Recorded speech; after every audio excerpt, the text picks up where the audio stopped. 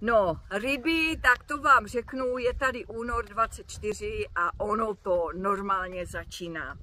Ještě v první polovině měsíce to nepoznáte, tam máme novoluní ve znamení vodnáře a vy budete spíš v takovém rozpoložení, že budete přemýšlet, možná budete mít takové divné pocity, to je vždycky před změnou.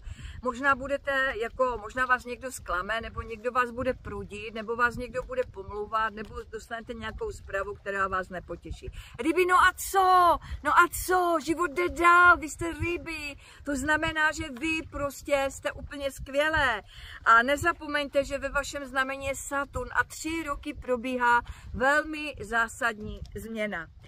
A teď pozor, ve druhé polovině února budete pod vlivem, který je um, úplně ve paně, ten proběhne 24.2. A teď, milé ryby, to vám musím prostě říct, protože slunce bude v rybách, Merkur bude v rybách a Saturn bude v rybách a to všechno udělá konjunkci. Ryby, tři roky transformace, ve které se nacházíte. 2003, 2004, 2025. Únor bude v něčem zásadní. Únor bude v něčem zásadní v tom slova smyslu, že otevírá nějako, nějaký nový směr. Ono se to teď začne rozvíjet. Ryby, připravte se, nebojte se a jděte do dalších změn. Jste úžasné. Ahoj.